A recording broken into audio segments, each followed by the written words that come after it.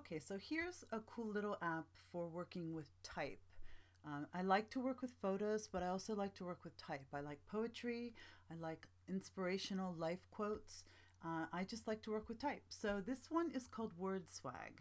So I'm just going to, uh, again, you can use the button on the left and as in most apps, that little camera button to take an image on the fly. I don't ever do that. I always have images stored. So I click the one on the right.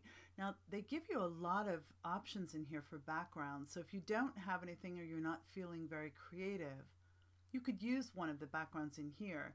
In fact, maybe I will. And I, I could go to my camera roll if I want just going to go down here. There's a couple photos. Every time they update the app, they seem to add more background. So, you know, maybe I'll just choose this one. Okay, and it gives me the option in here to um, add my text. So it says double tap, so I'm going to do that. I'm going to click the little X to get rid of the existing text, and just by magic, I happen to have one in my uh, in memory on my phone, so I'm just going to paste it in. And when I'm ready, I can click Save and Close. And you'll see there are three categories. The A, when you see the capital A and the small a, that's where you're making text decisions, where you're deciding on what, what style, what filter to use for the text. The middle one is for color, and the one on the right is for adjusting transparency and background brightness. So we're going to start with the one on the left, and you can see that I can scroll through here. There are some presets that I can use. And not only do you choose a preset, but then you have five buttons at the bottom where it gives you five different styles.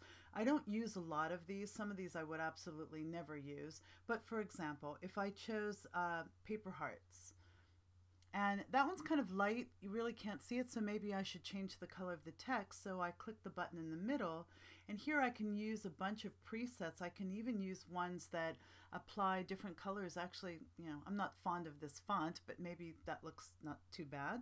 Um, and I could try, you know, different combinations to try to find something that really suits it. And I can click and drag and move it around and rotate it if I want to. There's that button on the right where I can adjust the transparency of the text and I can adjust the background brightness. So if I wanted to use lighter colors, I could make the background darker and vice versa. So you can do those changes with that button on the right. When you click done, it's going to automatically save your image. So don't do that yet. But again, I can go back over here to the button on the left and I can try some different styles. I like plain, so I use this one a lot.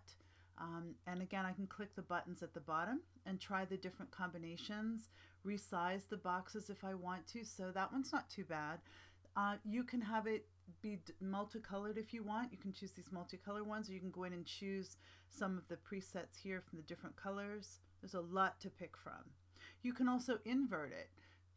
So if you had a bolder font, you could actually have the image be appearing in the text when you do the invert. Uh, lots of cool options here.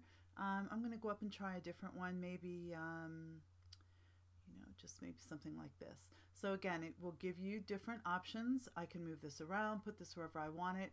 When I'm finished, I can click done. It goes out and saves it for me. It gives me the option to also um, I can go back in, if I can click the left arrow, go back in and rework it, or I can go right here and post to social media if I want to. So that's a really cool one that I like called Word Swag. You're limited only by your imagination with this one.